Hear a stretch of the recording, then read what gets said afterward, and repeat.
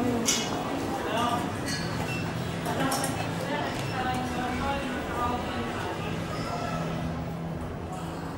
so apparently pressing the call button rings the alarm. So,